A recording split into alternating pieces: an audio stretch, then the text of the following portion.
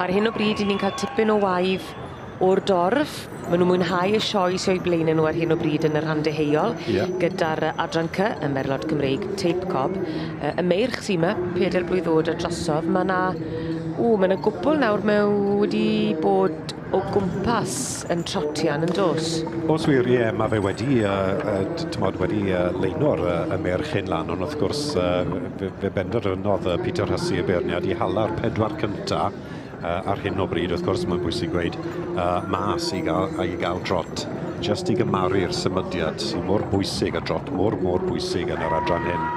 Ond mae fe'n disgwyl fel bod e wedi penderfynu Tawr yn y llydd yw wrth gwrs Cai Bryn Endeavour i Mr Michael Cobley tu flan i ni nawr. Cai Bryn Endeavour wedi cael ei fagu llain wen nath Flash Jack ag allan o Pafodin Denise. Mae hwn wedi ennill popeth blwyddyn hyn. Uh, ddim yn, uh, ddim yn siom i weld yn sefyll ar y brig eto yn y sioe frenhinol yn ennill dosbarth y merch yr adran adranca ennill sioi fe'r llambed a mlaen a mlaen, clynu fe mlaen ynddo fe. Mae fe'n boni trwy a trwy ac yn symud, wel, wi ddim wedi gweld dim byd yn symud fel e. O, wir? Mm, odi, mae fe'n clu symud. Mae wir wedi dybleisio di, Teddy. Odi, mae fe. Wel, mae yna siglo llaw, mae yna drosglwyddo rhosglymau, a mae yna air o ddiolch hefyd. Gan bod Cabrin Endeavour yn eiddo i Michael Cobley wedi ennill dosbarth y meirch peder blwydd a throsodd yma yn adran y Merlod Cymreig teip Cob. Ie, yeah, Chris Cobli y mab y teulu Cobli sydd yn arwen a ar ôl gweud bod y march yn gallu symud, mae rhaid gweud mae Michael yn gallu symud gyda fe fyd. Yn yr ail safle wedyn? Mae'r rhwsglymen dechrau cael ei roi hefyd i'r rhai sydd i lawr y lein. Ie, yeah, i'r denning, teulu'r denning, Tyrios Aragon uh, wedi cael ei fagu, yr er, uh, er, marchyn sy'n ail gyda Val Robinson, Star Crest Gold Sovereign y march, ac uh, Tyrios Angen Gwyn yr er gasau gyda ma fi 1-1-1-7 yn wasgod las yn ail yn y dosbarth hyn um, y merch yr adranca.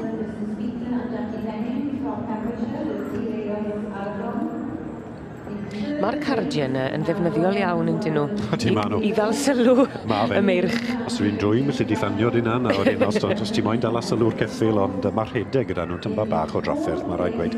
O'n i'n stwffa fel awr yn drwsys am son i'n uh, ffodus i gael un, digon ffodus i gael un. Ti wedi cael digon o dysiar y gardiau yn dŵr, Rob? O, diw. Os nag wyt ti'n golli nhw. Ie, wir. Wych.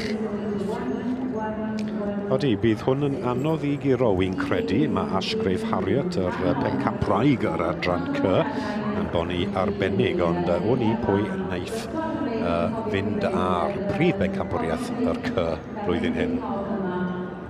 Chris Cobli nhw'r hapus iawn mae'r gwen yn Llydan.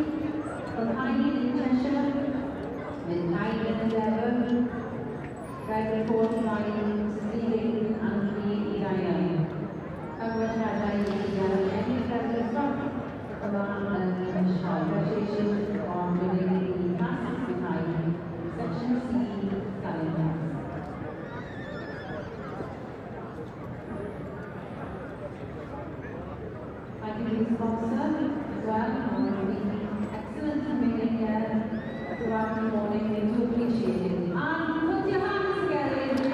ar ddiddiau prysur tu hwnt yma, i chi'n gweld Chris Cobli yn cael gwres i drad gan bod yn rhedeg wrth ochr Cabrin yn defa yn eiddo i Michael Cobli ac enillydd y meirch peder blwyddod a throsodd yma yn yr adran cy ac mae'n olygfa hyfryd boblogaidd iawn yma hefyd yn y prif gylch.